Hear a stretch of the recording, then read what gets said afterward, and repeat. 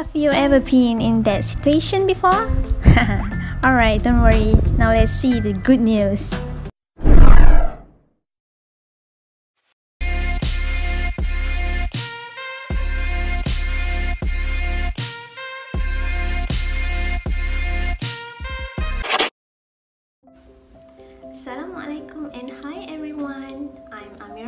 Nabila binti Yahaya, a student from School of Physics, majoring in Medical Physics in Universiti Sains Malaysia. So in today's video, I will share with all of you about infrared wireless communication. So let's get started. Have you ever heard about infrared wireless communication before? So, infrared wireless communication, also known as infrared Wi-Fi, is a wireless technology in device or system that convey data through infrared radiation Wow!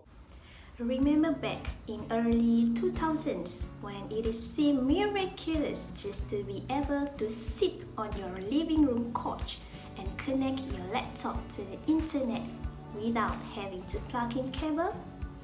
These days, Wi-Fi is just another technology that we take for granted and complain about it. Uh-oh. After all, it never seems to be quite fast enough to keep video games from lagging or streaming movies from freezing up right before climatic scenes. Thanks to the increasing number of data-hungry devices that compete for bandwidth on our networks. Fortunately, yes, researchers in the Netherlands have come up with a way to relieve our frustration they have developed an experimental wireless network that utilized beams of infrared light instead of radio waves to transmit data. So, in the lab, researcher Joanne O managed to achieve a speed of 42.8 gigabytes per second, which is many times faster than what we get today with radio-based Wi-Fi and better yet, devices do not have to compete for bandwidth anymore. So, how does it work?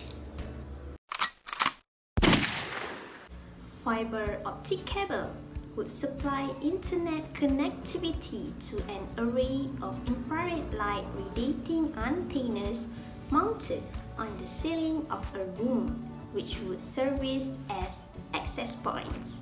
The antennas would contain pair of passive diffraction gratings, basically grooved surface that radiate light beams of different wavelengths at different angles. An antenna would send data to your tablet or smartphone. If you were to move around the room and something blocked the sideline between your device and the antenna, another antenna takes over the connection. The infrared light from the antennas is at much higher frequency than the radio waves that conventional Wi-Fi providers use, which enable it to transmit a lot of more data. The system could transmit the equivalent of an entire DVD length movie in about one second. It is so much better because the system would assign each device its own frequency. Other users in the space could download a movie or any other things into their individual devices at the same time without any losing of speed. But unlike radio waves, infrared light cannot pass through walls that means that unlike wireless networks, the various rooms in a house would each have to be wired to have internet access. On the plus side, that also might make an infrared-based home network more secure from hackers.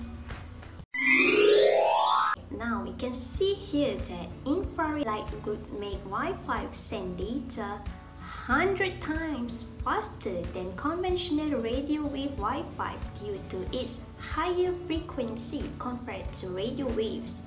It also works very well over a short distance and more secure from hackers.